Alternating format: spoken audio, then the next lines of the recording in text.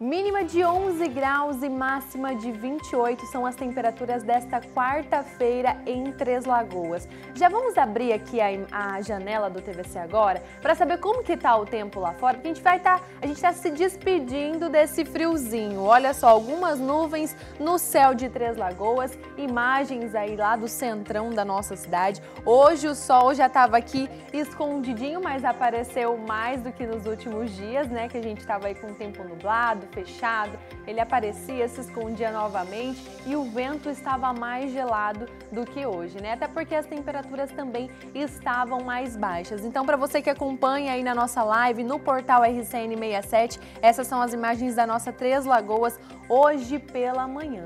E ó, hoje é o último dia que os termômetros irão registrar temperatura máxima abaixo de 30 graus, porque a partir de amanhã seguimos com a programação normal, um sol para cada um em Três Lagoas. Mas essa semana, gente, ainda continuamos, né, com as manhãs geladas e na parte da tarde vem o calor.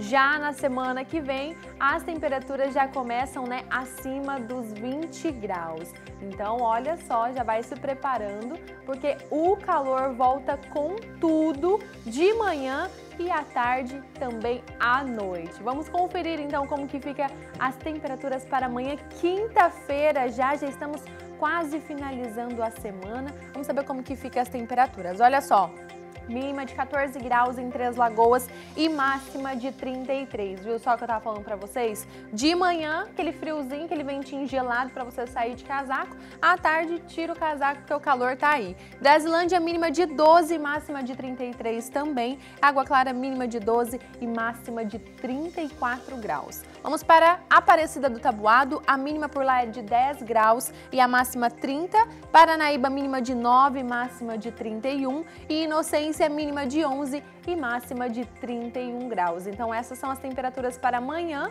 né, quinta-feira, que já começa o calor aos poucos aqui em Três Lagoas e na região leste de Mato Grosso do Sul.